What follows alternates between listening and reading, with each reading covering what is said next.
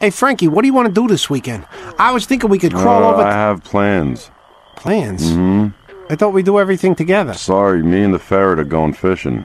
You and the who are going where? Me and the ferret are going to get some Budweiser long necks and charter a 28 foot fishing boat.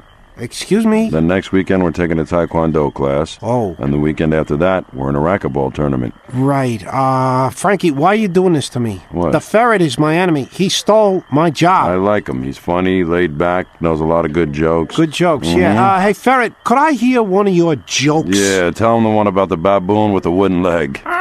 Yeah, it's a good one. It's a good one.